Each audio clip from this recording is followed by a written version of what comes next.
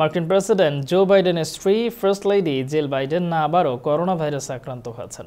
White house গতকাল সোমবার এক বিবৃতিতে এই খবর জানিয়েছে। তবে করোনা পরীক্ষায় প্রেসিডেন্ট জো বাইডেনের করোনা পরীক্ষার ফল নেগেটিভ এসেছে। বাহাত্তর বছর বয়সে জেল বাইডেনের শরীরে মৃদু উপসর্গ রয়েছে।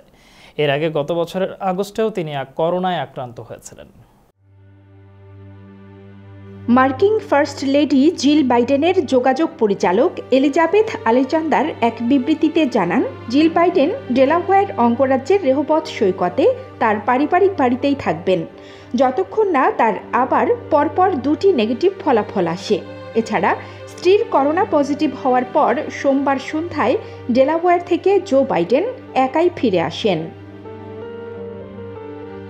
হোয়াইট হাউস জানিয়েছে, জিল বাইডেন করোনায় আক্রান্ত হওয়ায় ওই দিন সন্ধ্যায় প্রেসিডেন্ট জো বাইডেনেরও করোনা পরীক্ষা করা হয়। তবে করোনা পরীক্ষায় বাইডেনের করোনা ফলাফল নেগেটিভ আসে।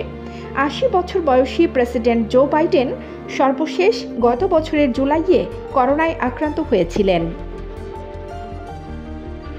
ফার্স্ট লেডি করোনায় আক্রান্ত হওয়ায় বাইডেনের বিদেশ ভ্রমণে কোনো প্রভাব পড়বে কিনা তা স্পষ্ট করেনি হোয়াইট হাউস। তবে বাইডেনের সাপ্তাহিক সময়সূচির ঘোষণায় আগামী বৃহস্পতিবার তার নয়াদিল্লি সফরের কথা উল্লেখ রয়েছে এবং রোববার হ্যানয়তে যাওয়ার কথা রয়েছে বাইডেনের।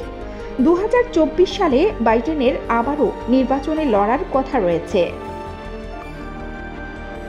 Kanis Fatema Nipa Bangla channel news desk.